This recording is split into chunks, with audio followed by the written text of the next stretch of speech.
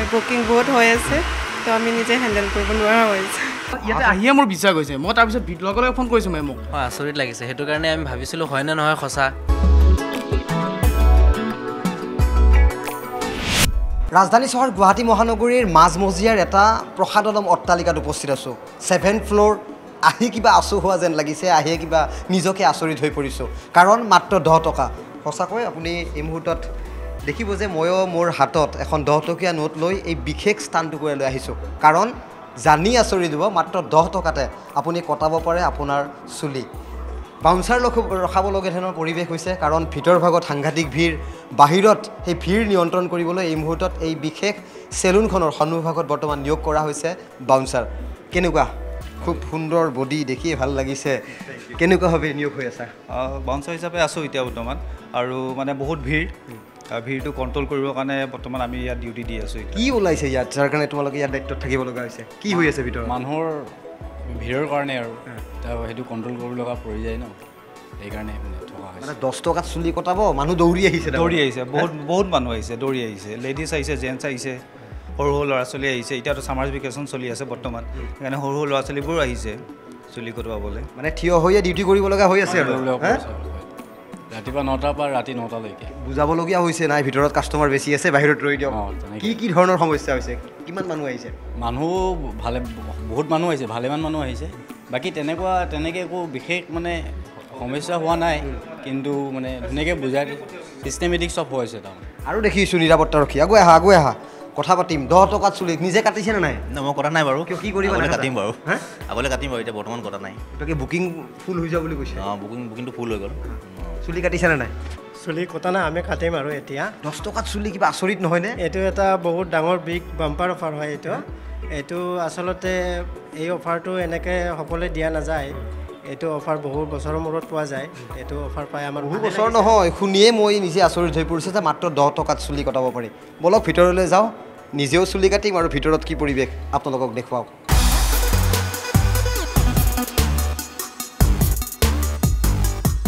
বিশাল ন? Phone নাম্বাৰটো ক'ব আপোনাৰ? খবৰ পায়ে দৌৰি আহিছে এইসকল যুৱক। সঁচাকৈ সমবয়সীয়া আৰু তেওঁলোকক লগ পাই তেওঁলোকেও নিজে এই আচৰিত কাহিনীৰ মাজত তেওঁলোক বিলীন হৈ পৰিছে। কেনেকৈ খবৰ পালা? হয় ছ'চিয়েল মিডিয়াৰ মাধ্যমে মই খবৰ পাইছিলোঁ। প্ৰথমতে চ' আমি এডভান্স বুকিং কৰিলোঁ আৰু। দহ টকাত চুলি কাটিবা কিবা আচৰিত যেন লগা নাইনে হয় আচৰিত লাগিছে। সেইটো কাৰণে আমি ভাবিছিলোঁ হয়নে নহয় সঁচা? গোটেইখিনি আমি একেলগে আহিলোঁ। আহি কিনে চালোঁ নাই এইটোতো কথাটো সঁচাই হয়। দহ টকাতে চুলি কাটিব পাৰিছোঁ। এতিয়াও বিশ্বাস হোৱা নাই চাগে? হয়। চোৱা নাই এতিয়াও। দহ টকাত চুলি? কোৱাচোন কি ক'বা? তোমাৰ দাড়ি দেখিছোঁ দীঘল হয় না? দাড়ি দাড়ি কাটিবা? ভাল লাগিছে আৰু কেনেকৈ গম পালা? ক'ৰ পৰা আহিছা? ছ'চিয়েল মিডিয়াৰ পৰা গম পালোঁ। মানে আমাৰ ফ্ৰেণ্ডৰ পৰা ফ্ৰেণ্ডে এজনে ফাৰ্ষ্টত শ্বেয়াৰ কৰিল মোৰ হোৱাটছআপত পাছ পিছত মানে মই ক'লোঁ যে সঁচা নে নাই পৰীক্ষা কৰি চাওঁ। পিছত কল কৰিলোঁ সঁচা মানে দুটা নাম্বাৰ দিয়া হৈছিল এছ এম হোৱাটছআপত কল কৰিলোঁ কল কৰাৰ পিছত কয় সঁচা তাৰপিছত বুকিং কৰিলোঁ আৰু। বুকিং কৰি কিনে মানে ফ্ৰেণ্ডক ক'লোঁ বাইক লৈ বা- ব'লা মানে ফুৰি আহোঁ মানে। আহি কিনে মানে কাটি ল'লোঁ আৰু। চুলি কাটা হ'ল নে কাটিবা? কাটা হ'ল। হা? কাটা হ'ল মোৰ ফ্ৰেণ্ড দেখুৱাইছোঁ অঞ্জনে দেখুৱাব এয়া সুন্দৰকৈ চুলি কাটি তেওঁ বৰ্তমান জিৰণি লৈছে আৰু সঁচাকৈ আমিও সৌভাগ্যৱান যে তেওঁলোকৰ মনৰ কথা আপোনালোকক জনাব বিচাৰিছোঁ। কেইটকা দিলা? নাই মই দহ টকাই দিছোঁ। দহ টকা লৈছে বেছিকৈ লোৱা নাই। দহ টকাই মাৰিব দিছে তেওঁলোকেও। কিন্তু কেছ পে'মেণ্ট কৰিলে অনলাইন? নাই অনলাইন কৰিছোঁ। দহ টকা অনলাইন ন? দহ টকা আচৰিত আজিকালি আচৰিত দহ টকাত একো নাপায়। দহ টকাটো কিমান মূল্য? দহ টকাত এটা পানী বটলো নাপায়। ইয়ালৈ আহি তাৰমানে ইয়াতে আহিয়ে মোৰ বিশ্বাস হৈছে মই তাৰপিছত লগে লগে ফোন কৰিছোঁ মেমক। মেমে কৈছে হয় আমিতো দহ টকাত দি আছোঁ। এক তাৰিখৰ পৰা দহ তাৰিখলৈকে।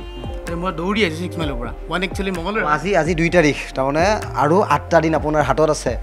আপুনিও বিশ্বাস নকৰিলেও কিন্তু এইসকল সাক্ষী। এয়া মইতো আচৰিতভাৱে সাক্ষী দেখুৱাইছিলোঁ মোৰ বাওঁফালে থকা এই যুৱকজনে এই মুহূৰ্তত চুলি কাটিছে পুৰ- পুনৰ কোৱা কেইটকা দিলা? দহ টকাই লৈছে মোৰ পৰা বেছিকৈ লোৱা নাই জিপে মাৰিছোঁ মই ফেক নহয় আৰু মানে কোনো ধৰণৰ ফেক নহয় যিটো ৰিল আৰু ৰিয়েল দুটা বেলেগ বেলেগ বস্তু কিন্তু ৰিল আৰু ৰিয়েল ইয়াতে ছেম পাইছোঁ মই। মানে ইয়াৰ ৰিয়েল কাহিনী। সঁচাকৈ পৰিৱেশসমূহ আপোনালোকক ইতিমধ্যে ছাইডৰ স্ক্ৰীণত দেখুৱাই আছোঁ আৰু এই বিশেষ প্ৰতিবেদন অব্যাহত আছে চাওক ইয়াৰ নেক্সট নেপটত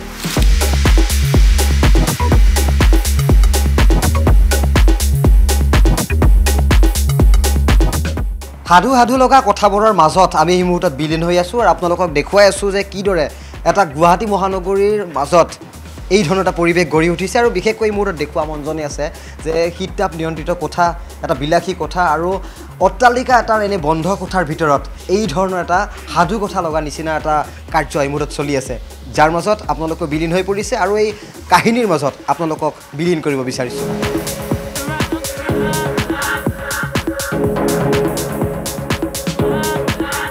সাংঘাতিক ভিৰ আৰু সাংঘাতিক ভিৰৰ মাজতে আপোনালোকক এই পৰিৱেশটো দেখুৱাবলৈ যত্ন কৰিছোঁ পৰিৱেশটো বৰ্ণনা কৰিব বিচাৰিছোঁ কাৰণ এই ধৰণৰ এটা অপ্ৰাসংগিক চিন্তা মনলৈ আহিছিল এই বিশেষ স্পা আৰু চেলুনখনৰ কৰ্তৃপক্ষৰ।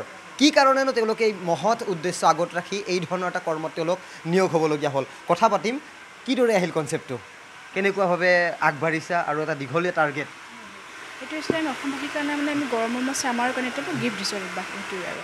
Summer gift summer gift. কেনেকুৱা ইমান কম প্ৰাইজত কেনেকৈ সম্ভৱ কথাবোৰ? এইটো আমি ৰাই- ৰাইজক জনাব বিচাৰিছোঁ আমাৰ ইয়াতে এখন চেলুন আছে বা এতিয়া সকলোৱে জনাব বিচাৰোঁ সেইটো বস্তু আৰু চেলুনখনৰ কাৰণে আমি।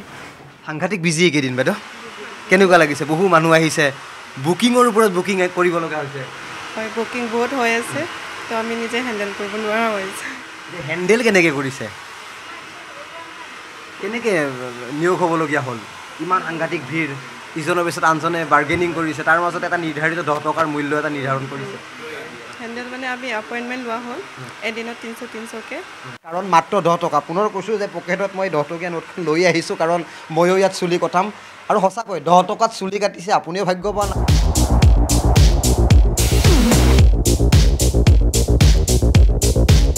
আপুনি কল্পনা কৰক আগৰ সেই দিন অৰ্থাৎ পীড়াত বহি আপুনি চুলি কটাৰ সেই দিনৰ কথা যেতিয়া ৰমন্থন কৰিব সময় সলনিৰ লগে লগে এনেদৰে চেলুনৰ মাজতো আহিল এটা অত্যাধুনিক পৰিৱেশ। আৰু সেই পৰিৱেশৰ মাজত সঁচাকৈ এটা ডাঙৰ এটা অফাৰ বুলি কৈছে তেওঁলোকে কৈছে যে গ্ৰীষ্ম বন্ধত এই ধৰণৰ এটা অফাৰ দিয়া হৈছে আৰু তেনে অফাৰৰ মাজতে ময়ো আহিছোঁ দহ টকাত চুলি কাটি ময়ো অভিজ্ঞতা ল'ব বিচাৰিছোঁ।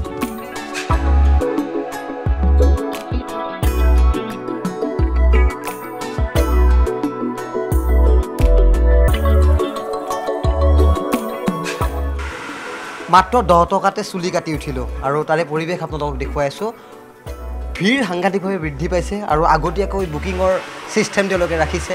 দৈনিকে তিনিশ লোকক টাৰ্গেট কৰিছে আৰু সৰ্বমুঠ দহটা দিনত প্ৰায় তিনি হাজাৰ লোকক সামৰি ল'ব এই বিশেষ অফাৰে ঠিকনাটো কৈছোঁ গুৱাহাটীৰ গণেশগুৰিত থকা প্ৰটেক্ট চেণ্টাৰ ছেভেন ফ্ল'ৰ তাতে এইখন ফ্লুজেন চেলুন সাংঘাতিকভাৱে ব্যস্ত হয় দাদাসকল প্ৰথমে কথা পাতিছোঁ আৰু প্ৰথমে ধন্যবাদ জনাইছোঁ খুব সুন্দৰ চুলিৰ কাট দিলা মোক থেংক ইউ কেনেকুৱা লাগিছে এইকেইদিন ভাল লাগিছে কিমান মানুহ আহিলে আৰু ইমান কম টকাত এই ধৰণৰ এটা সুবিধা দিব লগা হৈছে সুবিধাটো আমাৰ আপোনাৰ আপোনাৰ আগতে জনালেই সেই সুবিধা লৈ আৰু আমি কাম কৰি আছোঁ আৰু এই ধৰণৰ সাংঘাতিক ব্যস্ত চুলি কাটি আছে কেইটকা দিছা পইচা কিমান दस रुपये दस रुपया दिया हाँ तो इसे बाल काटने में कितना लेता है ऐसे वो दूसरा जगह में तो वन हंड्रेड वन फिफ्टी से लेते हैं। यहाँ पे दस रुपये में मिला। हाँ। केनुका व्यस्त खूब एक दिन हाँ? अच्छा। खूब बिज़ी हो रहा है। हाँ बहुत कैसा लग रहा है? कितना कस्टमर आया और दस रुपये में ऐसा ऑफ़र मिला उन लोगों को?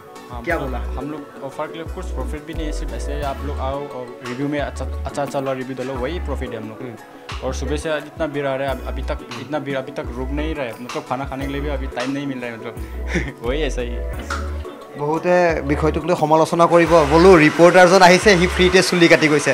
নহয় ময়ো দহ টকা এখন লগত লৈ আহিছোঁ। এই বাতৰিটো প্ৰচাৰ কৰিছোঁ আৰু ময়ো সেই সুবিধাকণ ল'বলৈ চেষ্টা কৰিছোঁ। বাইদেউ খুব বিজি আপোনালোকে এইকেইদিন। ভালে লাগিছে কাম কৰি বিজি মানুহক দেখা পাইছোঁ ভাল লাগিছে আমাৰ চেলুনত অহাৰ কাৰণে। আমিও কাটি ল'লেও সুবিধা পায় ভালে লাগিছে আপোনালোকে আহিছে বুলিও। নিশ্চয় জনাইছোঁ। ঠিকনাটো ইতিমধ্যে আপোনালোকক জনাইছোঁ আৰু সেই ধৰণৰ এটা পৰিৱেশৰ মাজত এই অবিশ্বাস্য খবৰ লৈ আহিছোঁ। মাত্ৰ দহ টকা মাত্ৰ দহ দিনৰ বাবে। এই বিশেষ অফাৰ তেওঁলোকে প্ৰযোজ্য কৰিছে। গতিকে বুকিং তেওঁলোকে অনলাইন যোগেও কৰিছে। নাম্বাৰটো কৈ দিব নেকি বুকিং নাম্বাৰটো?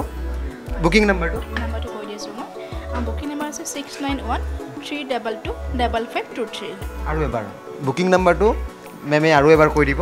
আপোনালোকে ইয়াত ফোন কৰি আপোনালোকে আগতীয়াকৈ বুকিং কৰিব six nine one three double two double five two three. আপুনি আহিব পাৰে।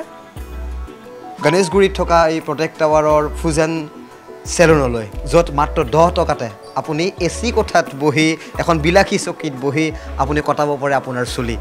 এই খবৰ মই দীপাংকৰ দাসে আপোনালোকৰ বাবে লৈ আহিছিলোঁ আৰু মোৰ লগত ইমান সময় সহযোগ কৰিছে জ্যেষ্ঠ ভিডিঅ' জাৰ্নেলিষ্ট অঞ্জন ডেকাই। বিভিন্ন খা খবৰ আৰু বা বাতৰিৰ বাবে আপোনালোকে চাই থাকিব। News eighteen Assam north east. ধন্যবাদ। খুব সুন্দৰ লাগিল। কোনো বুকিং নকৰাকৈ আহিলোঁ ইমান ছাৰ্ভিচ সুন্দৰকৈ দিলে ধন্যবাদ। আৰু কাৰণে। দহ টকাতে মই দেখুৱাইছোঁ মাত্ৰ দহ টকাতে চুলি কাটিলোঁ। আৰু এনেকুৱা ধৰণে খুব সুন্দৰ ছাৰ্ভিচ দিয়াৰ বাবে আপোনালোকক আটাইকে ধন্যবাদ।